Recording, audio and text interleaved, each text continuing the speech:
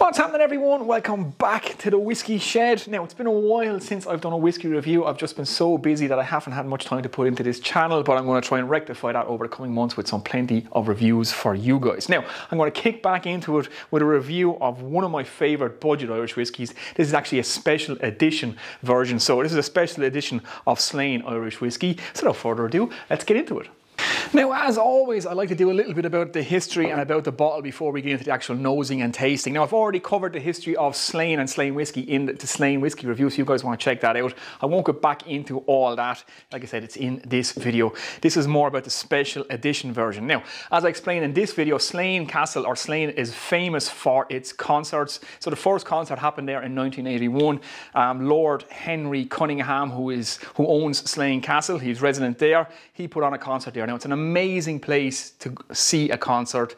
Um, some of the biggest acts in the world play there. It's 80,000 people. It's a natural amphitheatre. It's right on the grounds of Slane Castle. It's an amazing place. I saw Guns N' Roses play there. It was the best gig I think I was ever at. So if you ever get a chance to see your favourite act at Slane Castle, definitely go there. Check it out. You can also check out the distillery while you're at it. So that's what the special edition is about.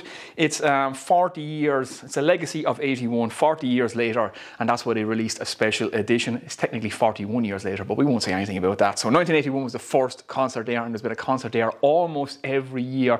There was a few years where it was an exception, but like I say, it's an amazing place for a gig, a natural amphitheatre, 80,000 people. The biggest bands in the world play there, and uh, it's an amazing place. So that's why they released this bottle. It's in honour of Henry Conyngham and the 40 years legacy of music at Slane. Now, let's get into this, and what we'll do in this review is actually compare the both of these to see what the actual difference is between the standard version and the special edition version. So let's do it. Okay, so like I said, we'll review this one by comparing it to this one. We just contrast and see what's in it. Now, no cork for you today. Both of these are actually twist tops, so let's get them in the glass.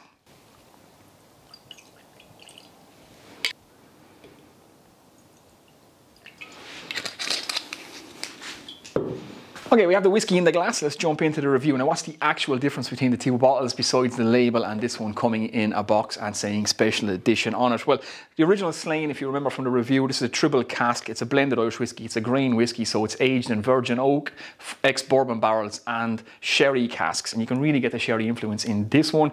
And my biggest complaint with this was I just wish the flavours were a bit more pronounced. Although it's an absolutely fantastic whiskey. It's a budget Irish whiskey. It's in around 30 euros. You can get it for 20 euros one of you guys actually commented on the video that you got this in California for $17. That's an absolute bargain because it blows Jameson away for a budget Irish whiskey.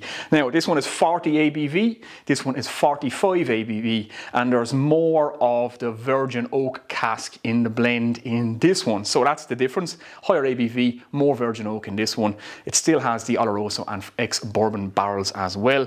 And I'm assuming those bourbon barrels are going to be coming from Jack Daniels because Brown-Forman actually owns Slane and they own Jack Daniels as well. So this is already jumping out of glass to meet me. I can already get the sherry influence. So let's go. First one on the nose. Yeah, definite sherry influence there. You can get those kind of dried fruits. This one has a lot more spice to it. I'd say it's more oaky, Yeah, a bit more vanilla as well. And it's a lot more pronounced, which is exactly what I wanted from this bottle. So let's just compare and contrast from the Slane. Yeah, this is so much more muted when you compare it to this. This is this bottle just dialed up a small bit, which is exactly what I wanted. So you can still get, I suppose the sherry influence in this one is a little bit more pronounced. More vanilla, more spice up front, and then the sherry influence on this with that oaky texture. Really nice. This one is just dialed up a bit, like I said. I loved this. I really like this. So, on the palate.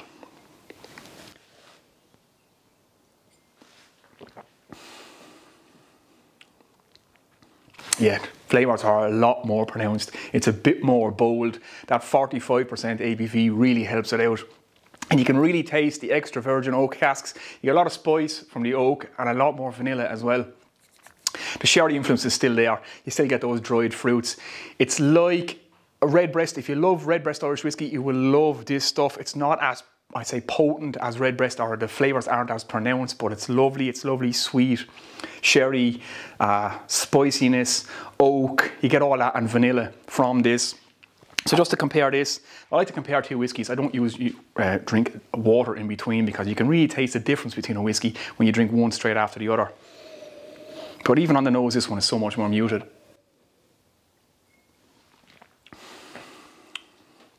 Yeah, it's even the texture of this is a lot lighter.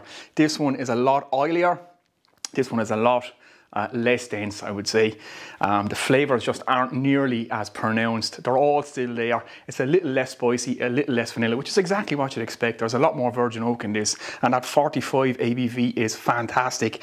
Um, the difference in price, is about 10 euros. Now, this is, like I said, some of you guys told me you can get this for $17 in the States. What an absolute bargain. If you see this, um, yeah, definitely pick yourself up a bottle of it. There was 2,900 and something bottles released in Ireland. I think it was an Ireland only release, but then I went on the website, it said it's also available in the US and the UK. So yeah, if you see this, definitely grab a bottle. If you like Slane, you're gonna love this. This is this just dialed up with a little bit more vanilla and a little bit more spice. So Let's leave this on its side. We'll forget about this one now for a second. We'll leave this for about 10 minutes, like I always do. Let it open up and we can see what else we can pull out of this. Okay, so having let it sit and open up for about 10 minutes, let's just see what else we can get from this. Mm. Bit more wood now to the forefront, I would say. Still get that sherry influence. The vanilla has died down a small bit. Still kind of has that baking spice to it. Yeah, very nice. There's a kind of a dark note I'm picking up now. Maybe there's a little hint of coffee, something like that, a dark chocolatey kind of note. Coffee, maybe dark chocolate, that kind of thing. It's just there in the background, but yeah, definitely a lot more oak in this, a lot more spice, the vanilla has gone down and a little bit more sherry to the forefront. So on the palate.